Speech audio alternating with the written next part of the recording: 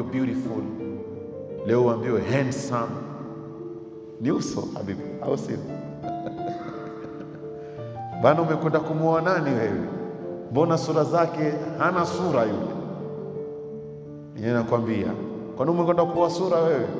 Na hii sura inakwenda ikifedi. Tumezungumza sisi hapa kuwa vitu vingi katika material za kiulimwengu zinakwenda zikifade, kila ikiwa maana yako ni maana ya kidunia, then you're not going to get it.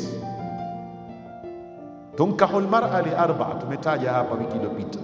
Mwanamke anaolewa kwa mambo manne: lijamaliha, uzuri wake, ah, very beautiful, muhimu awe beautiful. Limaliha, ana pesa zake, ni muhimu. Lihasabiha, ana daraja na heshima katika wale wanaoishi naye, muhimu. Linasabiha, nasaba yake nzuri, muhimu zote. Walidiniha, na pia anaolewa kwa sababu ya dini yake. bahti yake yule alokusanya zote nne ama tano. Lakini ikiwa wewe umewacha dini ukashika katika yale ambao umeyaona ni ya dunia, utakae naye miaka mingapi? Namchukua mtoto wa kike wa miaka kumi na minane miaka ishirini mzuri, lakini akishapata ujauzito system inakwenda ikibadilika, tumbo lishabadilika, kifua kimebadilika, miaka inakwenda. Pengine saanza kuanza kutengeneza sasa na zile makeup ambazo kama ni expensive. You don't have money, hauna pesa. Bana, nataka kwenda saluni. Ah, ah, kuna kwenda saluni, huna haja tena kumwangalia, shazeeka wewe, sura zako zimekuwa mbaya. Two years ulikuwa mwambia oh, anta shamsu na anta badrun, wakimpa sifa nzuri Bwana. nikikuona na unajua, ikiwa ni mchana, nikiona usiku naona ni mwezi Yaani mimi kivyo vyote mimi nakuona wewe tu.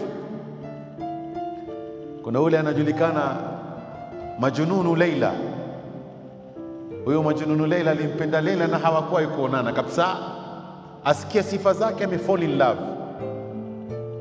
Katika, katika mambo ya ajabu alipokuja kukutana na Lela, huyu ndiye Lela, akasema hata sina haja nayo Lela, mimi na haja na sifa zako, shika njia nda zako mi bado nataka kufall in love na zile sifa tu, maanake Lela alivyoapia sio vile alivyokuwa akimdhania.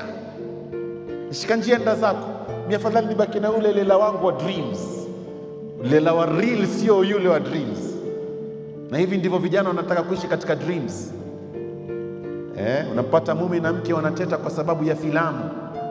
Mwanamke anasema why don't you treat me like so and so katika The Bold and the Beautiful wale ni maekta na maactress wamekwenda katika rehearsal, wametengeneza makata walks, zile zote zote zile talks zote zimekuwa chosen, alafu wewe unaona ni real.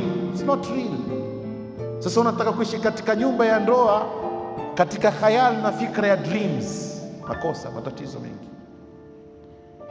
balaa, bwana? Kwa hivyo huyu majununu Leila asema maneno yake na maneno tayasema, qabaltuha fi sabahi, yamka asubuhi bana, nikambusu yule Leila.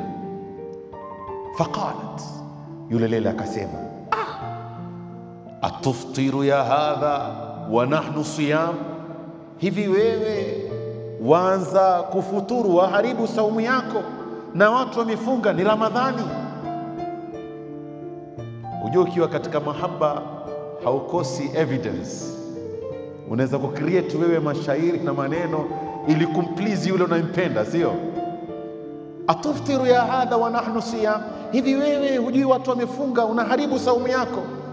Qultu laha, asema yeye majununu Leila, nikamwambia Leila, anti indi, wewe kwangu hilalun, wewe kwangu ni mwezi wasaumu baada ruyati lhilali haramu, na kufunga baada ya kutizama mwezi. Unajua ni mwezi gani? Mwezi wa ishirini na tisa wa Ramadhani. Yaani sisi tushaona mwezi kitambo. Mi niko katika Idi, wewe unaniambia Ramadhani, na mimi nishaona mwezi wa Idi, na kufunga katika Idi ni haramu. Yaani wewe umemwona yule mpendaye, umemwona sasa. Haya ndio Ramadhani ya kwanza, hiyo hiyo Ramadhani ya kwanza kwako ishakuwa ni Idi kabisa. Salala